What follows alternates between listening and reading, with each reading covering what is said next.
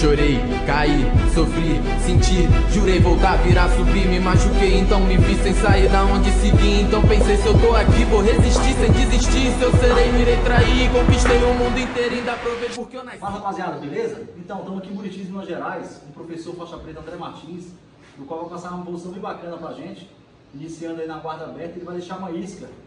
E naturalmente eu vou querer 100 quilos aí, vou acabar entrando no estrangulamento bem bacana aqui.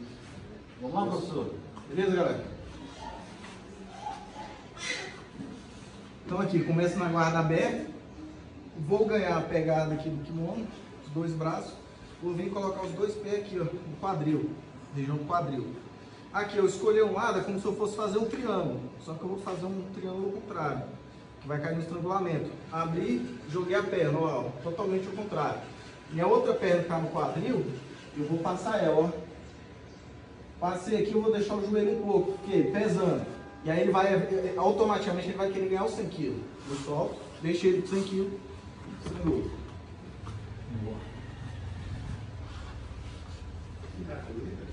Repetindo.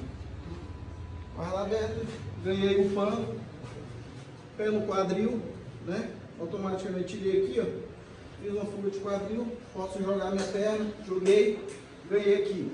Lembrando que esse detalhe aqui é importantíssimo, eu tenho que manter essa pegada. Mantive a pegada aqui firme, automaticamente ele vai de 100 kg. Foi? Perfeito. Valeu, rapaziada. Obrigado aí. Assista o vídeo até o final aí. Deixa o comentário, o like e siga o canal aí. Outros.